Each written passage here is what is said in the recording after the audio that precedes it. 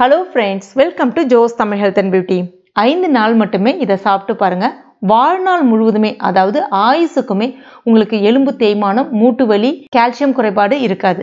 உணவே மருந்து அப்படின்னு சொல்லிட்டு நம்மளுடைய முன்னோர்கள் சொல்லியிருக்காங்க. இப்போ இருக்கக்கூடிய நாகரிக உலகத்தில் இருபது இருபத்தி ஐந்து வயதிலே மூட்டு வலி எலும்பு தேய்மானம் கால்சியம் குறைபாடுகளால் அவஸ்தப்படுறாங்க. அதற்கு மிக முக்கிய காரணம் உணவு முறை தான். நம்ம இன்னைக்கு மருந்து மாத்திரை ஆப்ரேஷன் அதெல்லாம் எதுவுமே இல்லாமல் ஒரு சின்ன உணவு முறையை ஒரு ஐந்து நாள் ஃபாலோ பண்ணுறதன் மூலமாக நிரந்தரமாக அந்த மூட்டு வலி பிரச்சனையை வந்து சரி செய்ய முடியும்.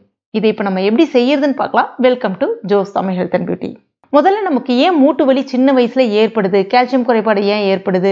எலும்பு தேய்மானம் ஏற்படுதுன்ற ஒரு சின்ன விஷயத்த வந்து நம்ம தெரிஞ்சுக்கணும். மிக முக்கிய காரணம் ரெண்டு தான். ஒன்று வந்து பசியே இல்லாமல் சில பேர் வந்து சாப்பிட்டுட்டே இருப்பாங்க. இன்னொன்று நம்ம வயிற்றுக்கு ஆகாத உணவுகளை அடிக்கடி சாப்பிட்றது. உதாரணத்துக்கு சில பேருக்கு பரோட்டா சாப்பிட்டா ஏற்றுக்காது இருந்தாலும் அந்த பரோட்டாவை தொடர்ந்து சாப்பிடுவாங்க.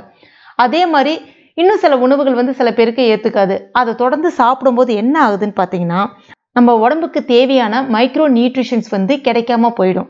அப்போ நம்மளுடைய உடல் என்ன பண்ணும்? நம்மளுடைய டெய்லி தேவைக்கு அதாவது நம்மளுடைய டெய்லி எனர்ஜிக்கு என்ன பண்ணுதுன்னா ஸ்டோரேஜ் மீடியம் சொல்லக்கூடிய அந்த எலும்புகள்லேருந்து அந்த மைக்ரோ நியூட்ரிஷன்ஸை வந்து எடுக்க ஆரம்பிக்கும்.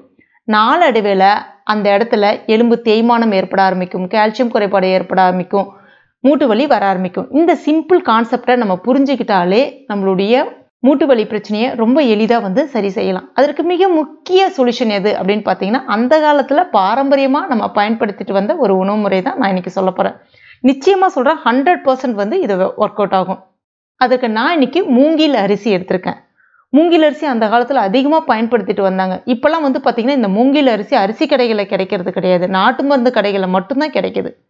அட்லீஸ்ட் ஒரு ஒரு வாரம் நீங்கள் இதை ட்ரை பண்ணுங்கள் அதனுடைய டேஸ்ட்டும் உங்களுக்கு பிடிச்சிரும் உடலில் நல்ல ஒரு டிஃப்ரெண்ட்டும் தெரிய ஆரம்பிக்கும். ஏன்னா மூங்கில் அரிசியை வந்து நம்ம சாப்பிடும்போது வாழ்நாள் முழுவதுமே மூட்டு வலி வராது. ஏன்னா இதில் அதிகப்படியான ஆன்டி இன்ஃப்ளமேட்டரி ப்ராப்பர்ட்டிஸ் இருக்குது அது மட்டும் இல்லாமல் அதிகப்படியான கால்சியம் சத்துக்கள் இருக்குது இரும்பு சத்துக்கள் இருக்குது அதிகப்படியான மைக்ரோ நியூட்ரிஷன்ஸ் இருக்குது நீங்கள் டேப்லெட்டு இந்த மாதிரிலாம் எதுவுமே சாப்பிடாம இதை சாப்பிட்றதன் மூலமாக எல்லாமே வந்து சரியாகும். இது இப்போ எப்படி பயன்படுத்தணும் அப்படின்றத பற்றி பார்க்கலாம். நான் இன்றைக்கி குறைவான அளவுகளில் காமிக்கிறேன். இது நீங்கள் அதிகமான அளவுகள்லையும் பயன்படுத்திக்கலாம். இதை வந்து ஒரு முறை அலசிட்டு நான் வந்து காய வச்சு எடுத்து வச்சுருக்கேன். இப்போ இதை மிக்சி ஜாரில் சேர்த்துட்டு நல்ல நைஸான பவுடராக நீங்கள் அரைச்சிட்டு ஒரு டப்பாவில் கூட ஸ்டோர் பண்ணிக்கலாம். நல்லா சளிச்சிட்டு வச்சுக்கணும். இல்லை நீங்கள் நிறையான அளவுகளில் பயன்படுத்த போகிறீங்கன்னா ஒரு ரெண்டு முறை நல்லா கழுவிட்டு காய வச்சுட்டு மிஷினில் கொடுத்து கூட நல்ல நைஸான பவுடராக இப்போ நம்ம கேழ்வரகு மாவு கம்பு மாவுலாம் அரைச்சி வைக்கிறோம்ல அந்த மாதிரி கூட நீங்கள் அரைச்சி வச்சுக்கலாம். வெளியிலே வச்சுக்கலாம் ஒன்றும் பிரச்சனை கிடையாது. இந்த மாவு இப்போ எப்படி பயன்படுத்தணும் அப்படின்னா ஒரு பவுலில் உங்களுக்கு தேவைக்கேற்ப ஒரு பவுலில் வந்து எடுத்துங்க. கொஞ்சமாக தண்ணி சேர்த்துங்க. ஒரு கப் எடுக்கிறீங்கன்னா ஒரு கப் அளவுக்கு தண்ணி சேர்த்துட்டு நல்லா கட்டிலாம் இல்லாமல் கலந்து விட்டு வச்சுக்கோங்க. அதுக்கு அடுத்ததான் ஒரு மண் சட்டி நான் இன்றைக்கி எடுத்திருக்கேன். மேக்ஸிமம் மண் சட்டி பயன்படுத்துங்க. ஏன்னா மண் சட்டியில் நம்ம எந்த விதமான உணவும் சமைக்கும் போது அதிகப்படியான மைக்ரோ நியூட்ரிஷன்ஸ் உருவாக ஆரம்பிக்கும். இந்த மைக்ரோ நியூட்ரிஷன் தான் நம்ம உடம்புக்கு தேவையான அனைத்து சத்துக்களுமே அதுவும் குறிப்பாக நம்மளுடைய எலும்புக்கு தேவையான அனைத்து சத்துக்களுமே கொடுக்கும். இப்போ இதில் நான் வந்து தண்ணி எடுத்திருக்கேன். அதாவது ஒரு கப் அளவுக்கு அந்த மாவு எடுக்கிறீங்க அப்படின்னா ஆறு கப் அளவுக்கு தண்ணீர் எடுத்துக்கங்க. சரியாக இருக்கும். இப்போ இந்த தண்ணீர் வந்து ஒரு கொதி வரணும். பாருங்கள் தண்ணீர் வந்து ஒரு கொதி வந்துருச்சு. நம்ம ரெடி பண்ணி வச்சிருந்தாலும் அந்த மாவு மூங்கில் அரிசி மாவு அதை வந்து சேர்த்துட்டு கைவிடாமல் கலந்து விட்டுட்டே இருங்க. ஒரு ரெண்டுலேருந்து மூணு நிமிஷம் கலந்து விட்டால் போதும். ஸ்டவ்வை வந்து இப்போ மீடியம் ஃப்ளேமில் வச்சுக்கோங்க. ஒரு இருபது நிமிஷம் நல்லா வெந்து வரணும். இப்போ நம்ம சாதம்லாம் போட்டால் வேக வைக்கிறதுக்கு ஒரு பதினஞ்சுலேருந்து இருபது நிமிஷம் எடுத்துக்குதுல அதே மாதிரி தான் ஒரு இருபது நிமிஷம். அடிக்கடி இடையில இடையில ஒரு தடவை கலந்து மட்டும் விட்டுக்குங்க.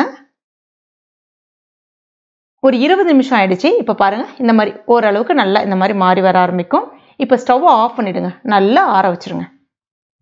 இது வந்து நீங்கள் நாளைக்கு காலையில் குடிக்க போகிறீங்க அப்படின்னா இன்றைக்கி ஒரு ஏழு மணி காலையில் ஏழு மணி எட்டு மணி போல் இப்போ ரெடி பண்ணணும். இப்போ இதை மூடி வச்சுருங்க. ஒரு ஓரமாக மட்டும் கேப் விட்டுருங்க. அந்த ஆவி வெளியில் போட்டோம். இல்லைன்னா நீர் விட்டுரும் அப்படின்னு சொல்லுவாங்க. இப்போ நான் காலையில் ஏழு மணி ரெடி பண்ணேன். இதை சாயந்தரம் இப்போ ஆறு மணிக்கு நம்ம பார்க்கலாம். நல்ல ஆறு இருக்குது கெட்டியாகவும் மாறிருக்கு இப்போ இது மேலே ஒரு ரெண்டு கிளாஸ் அளவுக்கு கிட்டத்தட்ட ஒரு அரை லிட்டர் அளவுக்கு தண்ணியை வந்து சேர்த்துருங்க. சேர்த்துட்டு மறுபடியும் மூடி வச்சுருங்க. இதை இப்போ நம்ம காலையில் பார்க்கலாம். இப்போ இந்த மாதிரி தான் இருக்கும். இப்போ நல்ல ஒரு கரண்டியை பயன்படுத்தி கட்டிலாம் இல்லாமல் உடச்சி விட்டு கலந்து விட்டுக்குங்க. இப்போ இது கூட கொஞ்சமாக மோர் சேர்க்குறேன். உங்களுக்கு விருப்பப்பட்டால் மோர் சேர்த்துக்கலாம். இது வந்து சுவைக்காகவும் மட்டும் இல்லை நல்ல பாக்டீரியாக்களை நம்ம குடலில் வந்து உருவாக்கும். நல்ல ஒரு மைக்ரோ நியூட்ரிஷன்ஸ் வந்து நம்ம உடம்புல வந்து உடனே உருவாக்கக்கூடிய தன்மை வந்து இந்த மோருக்கு உண்டு. அதனால் சேர்க்குறேன். இல்லைன்னா வந்து மீந்த சாதம் சொல்லுவாங்கல்ல அதாவது பழைய சாதம். தண்ணி ஊற்றி வச்ச சாதம். அந்த சாதத்தில் இருக்கக்கூடிய தண்ணீரை கூட நீங்கள் தாராளமாக சேர்த்துக்கலாம். அதுலேயும் ஏகப்பட்ட சத்துக்கள் இருக்குங்க. அதாவது மதியம் வடித்த சாதம் மீந்துருச்சுன்னா நைட்டு தண்ணி ஊற்றி வச்சிங்கன்னா மறுநாள் காலையில் அந்த தண்ணீரை வந்து நீங்கள் பயன்படுத்திக்கலாம்னு சொல்ல வரேன். இப்போ இதில் தேவையான அளவுக்கு இந்து உப்பு சேர்த்துக்குங்க. நார்மல் சால்ட் சேர்க்காதீங்க. இல்லைன்னா கல்லுப்பு இருக்குல்ல கல்லுப்புலேயே வந்து பாலிஷ் செய்யப்படாத கல்லுப்பு அப்படின்னு சொல்லுவாங்க. அந்த கல்லுப்பை வந்து சேர்த்துக்குங்க. சேர்த்துட்டு நல்லா கலந்துட்டு இதை நீங்கள் குடிக்கலாம். இதை நீங்கள் மூணு வேலைக்கும் தாராளமாக சாப்பிட்லாம். ஒன்றும் பிரச்சனை கிடையாது. மேக்ஸிமம் ரெண்டு வேலைக்கு ஐந்து நாள் குடிச்சு பாருங்கள் நல்ல ஒரு டிஃப்ரென்ஸ் தெரிய ஆரம்பிக்கும். இதை வந்து ரெகுலராக எடுத்துக்கலாமான்னா தாராளமாக ரெகுலராக எடுத்துக்கலாம். இல்லைன்னா நீங்கள் வந்து ஒரு ஃபஸ்ட்டு ஒரு அஞ்சு நாள் ஏழு நாள் தொடர்ந்து சாப்பிடுங்க. அதுக்கப்புறமா வாரத்தில் ரெண்டு முறை கம்பல்சரி உங்களுடைய உணவுகளில் இது ஒரு பழக்கமாக நீங்கள் வந்து ஏற்படுத்திக்கங்க. நிச்சயமாக சொல்கிறேன் உங்களுடைய உடம்புல நல்ல ஒரு மைக்ரோ நியூட்ரிஷன்ஸ் அதிகரிக்க ஆரம்பித்து உங்களுக்கு கால்சியம் குறைபாடு நீங்கும். மூட்டு வலி சரியாகிடும். எலும்பு தேய்மானம் இருக்காது. முக்கியமாக பெண்களுக்கு இடுப்பு பகுதியெல்லாம் எலும்பு தேய்மானம் அதிகமாக இருக்குங்க. இதை கண்டிப்பாக சாப்பிட்டு பாருங்கள் அவ்வளோ ஒரு நல்லது இது. கண்டிப்பாக ட்ரை பண்ணி பாருங்கள் நிச்சயமாக சொல்கிறேன் உங்களுக்கு மூட்டு வலி பிரச்சனையே இருக்காது. அவ்வளோ ஒரு சூப்பரான டிப்ஸ் இது. இது வந்து ஒரு உணவு முறை மருந்து கிடையாது. ஆப்ரேஷன் மருந்து மாத்திரை எதுவுமே இல்லாமல் நம்மளுடைய உணவு முறை நம்மளுடைய பாரம்பரியமான உணவு முறையில் இந்த மாதிரியான பிரச்சனைகள் இல்லாமல் ஆயுசுக்கும் நம்மளால் ஆரோக்கியமாக வாழ முடியும். கண்டிப்பாக ட்ரை பண்ணி பாருங்கள் ட்ரை பண்ணிவிட்டு மறக்காமல் எனக்கு கமெண்ட் பண்ணுங்கள் இந்த வீடியோ உங்களுக்கு பிடிச்சிருந்தா லைக் பண்ணுங்கள் உங்கள் நண்பர்கள் மற்றும் ஃபேமிலி மெம்பர்ஸ் கூட மறக்காமல் ஷேர் பண்ணிங்க. மேலும் இது போன்ற பயனுள்ள குறிப்புகளுக்கு நம்ம சேனலை இது வரைக்கும் நீங்கள் சப்ஸ்கிரைப் பண்ணலன்னா உடனே சப்ஸ்கிரைப் பண்ணிங்க. கூடவே மறக்காமல் அந்த பெல் நோட்டிஃபிகேஷன் சிம்லையும் ப்ரெஸ் பண்ணிங்க. Thank you